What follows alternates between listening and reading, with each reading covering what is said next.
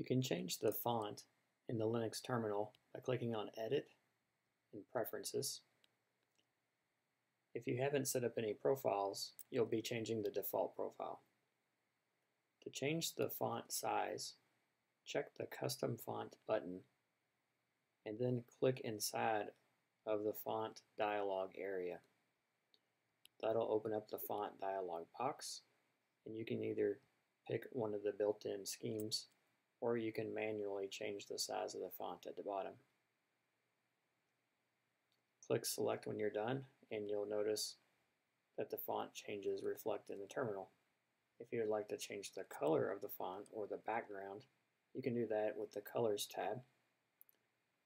You can pick one of the built-in palettes, or you can uncheck the Use Colors from System Theme to open up more built-in schemes, or even set specific colors that you choose.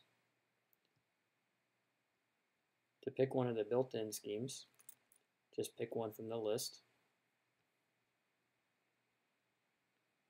When you're done making changes, you can close the dialog